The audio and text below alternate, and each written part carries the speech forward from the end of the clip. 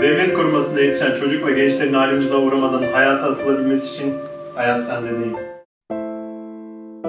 Şu anda 31 yaşında olan Abdullah Oskay 7 yaşında devlet korumasına alındı. Halen bir kamu kurumunda çalışıyor. Devlet korumasında yetişen çocuk ve gençlerin sorunlarını bilen Abdullah Oskay, kendi hikayesinden yola çıkarak devlet koruması altındaki çocuk ve gençlerle çalışmalar yaptı. Arkadaşlarıyla birlikte 2007 yılında Hayat Sende Gençlik Akademisi Derneği'ni kurdu. Devlet korumasında yetişen bireylerin karşılaştığı birçok sorunla, bizlerin karşılaştığı sorunlarla diğer kardeşlerimizin karşılaşmaması için birçok proje geliştirdik. Her şeyden önce biz devlet korumasında yetişen çocukların eğitim hayatında, iş hayatında, sosyal hayatta birçok dışlanmayla karşılaştığını görüyoruz ve devlet korumasında yetişen çocuk ve gençlerin eşit bir şekilde hayata atılmaları için çalışmalar yapıyoruz. Çalışmalarımızın özünde devlet korumasındaki çocukların aile temelli hizmetlerden yararlanarak, koruyucu aile, evlat edinme modelinden yararlanarak hayata atılması oluşturuyor.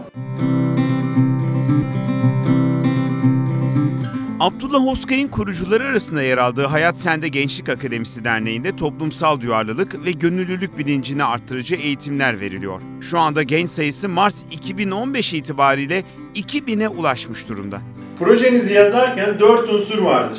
Birincisi analiz aşaması, ikincisi planlama aşaması, üçüncüsü uygulama aşaması, dördüncüsü de değerlendirme aşaması.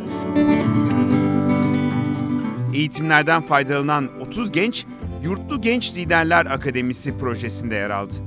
1200 öğretmen etiketsiz eğitim projesine katıldı. Devlet korumasındaki çocuk ve gençlerin karşılaştıkları sorunları çözme becerisi edindi. Abdullah Oskay ve arkadaşları binden fazla gence hakları konusunda danışmanlık yaptı. 300'den fazla toplantıya katılarak 30 binden fazla kişiye devlet korumasında yetişen gençlerin sorunlarını dile getirdi. Medyada devlet korumasında kalan çocuk ve gençleri ötekileştiren söylemlerle mücadele ettiler.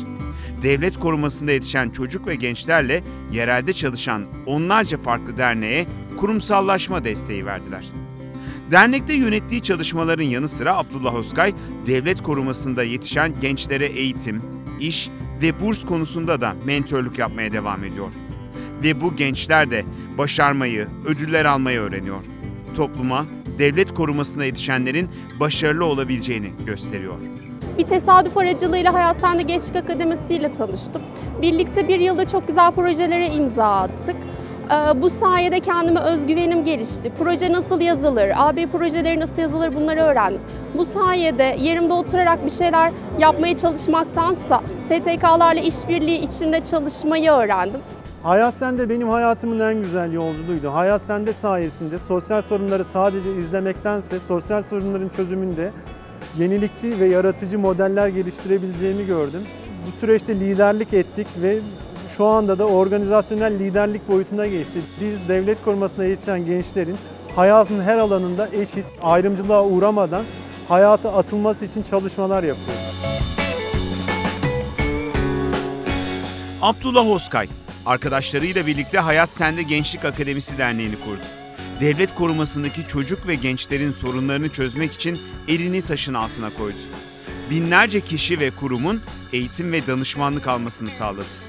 Hem kendi hayatında hem de devlet korumasında yetişen gençlerin hayatında kocaman bir fark yarattı.